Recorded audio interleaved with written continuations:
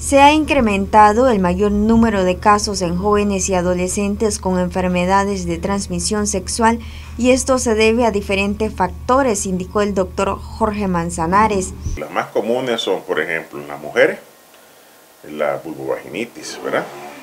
Este, las, infecciones, eh, las enfermedades pélvicas, inflamatorias, las miro bastante, ¿verdad? Eh, la vaginitis, la vaginosis, este, miro hasta, he visto, he visto aumento en el virus del papiloma en jóvenes, en las muchachas sobre todo, en las jóvenes. He visto el virus del papiloma en todo su esplendor, con todas sus lesiones. Sífilis es, eh, se ha visto, pero no tanto, no he visto tanto, pues, pero sí se mira la sífilis también. En los varones he visto bastante la gonorrea, se mira bastante la gonorrea. ¿A qué se debe esto? Es una serie de factores. Uno, a la misma sociedad, al mismo sistema como está actualmente, el, sistema, el sistema social que se rige, que rige la gente. Ahora consideran, por ejemplo, que la sexualidad es algo muy normal, que debe hacerse, que es costumbre, que tiene que practicarse, entonces los chavalos lo hacen. Por otra parte, tienen falta de educación por parte de los padres, los padres no los instruyen, no los enseñan bien, no los educan bien en ese sentido. Y los chavalos ahí van, como dicen, aprendiendo a la brava aprendiendo a la brava. El problema de aprender a la brava es que vienen esas, este tipo de complicaciones.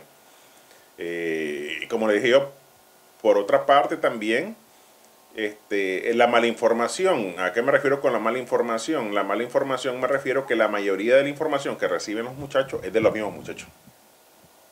Manzanares recomendó la prevención y consultar a los expertos médicos. Informado sobre qué es lo que debes hacer tanto profilácticamente como, no, como para tratamiento. Profilácticamente me refiero a si ya lo van a practicar y no vas a poder evitarlo, por ejemplo, aprender a usar el uso de condones, ¿verdad? Los tratamientos, eh, usar anticonceptivos en el caso de prevenir pues también eh, los embarazos y todo a edades tempranas.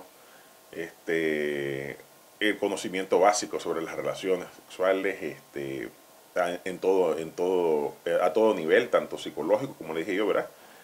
Eh, social, eh, la, la, la, promoción de estos valores, ¿verdad?